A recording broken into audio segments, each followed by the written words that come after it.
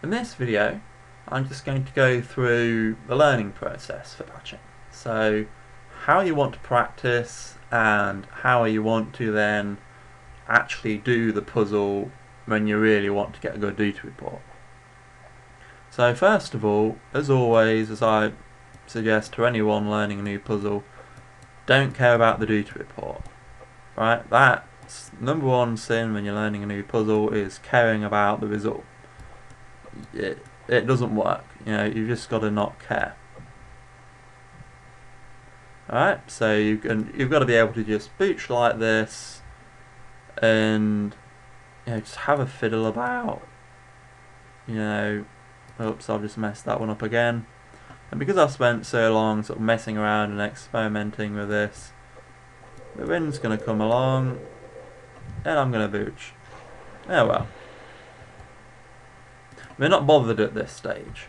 Remember that first stage is all about just slow practice. So here, yeah, I'm not going to worry about it. I'm just going to really practice going towards the tie off, okay?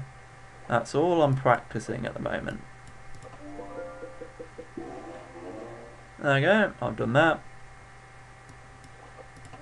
Gonna do a bit of practice, and you just keep doing that again and again, nice and slowly, until you get into the flow of it. So here, yeah, I'm not very confident at the moment, so all you want to try and do is replace these with some nice simple pieces, tie it off, and not worry about the rest of the board. Okay? Practice one thing at a time.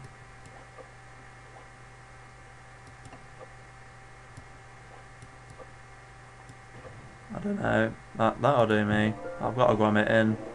I'm practicing. And then once you get the hang of that,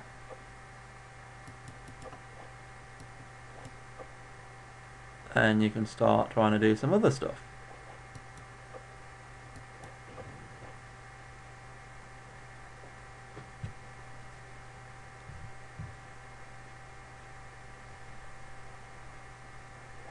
Okay, so let's do that and that. Yeah, that's not quite gone to plan, nor is that. So I'm just going to have a fiddle. And then I'm going to have a look around, see if I can reorganize this board because I'm just practicing right now. So how, how could I have used this piece? Well, I don't really have a clue, so I'm just going to start sticking it anywhere.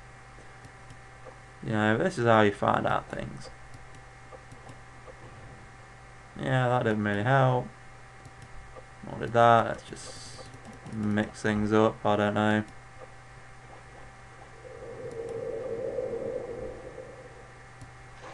Uh, if the wind comes along, yeah, it's no biggie.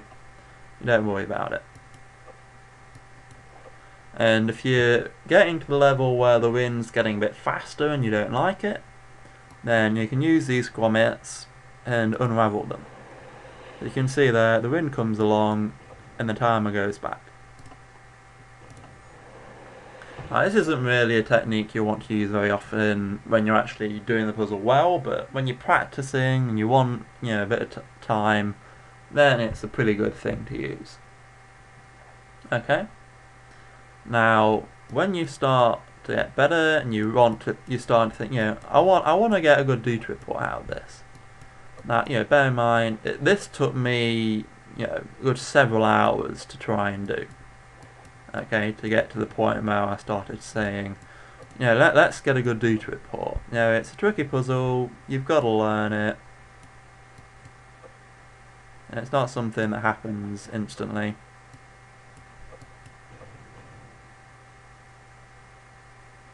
I have no idea how you do this bit. But this is why you practice. You know, eventually you figure out you can't do this.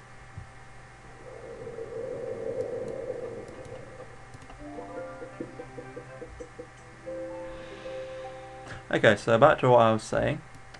Uh, when you're in practice, you just want to do it instinctively. So see here, I'm just going to start putting pieces around.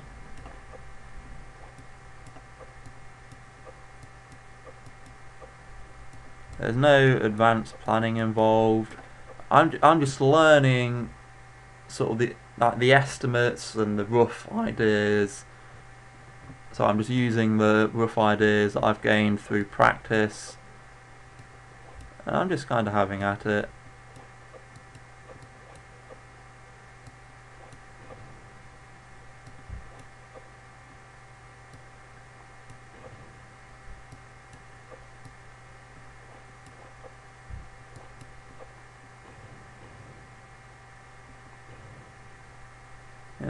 So, um,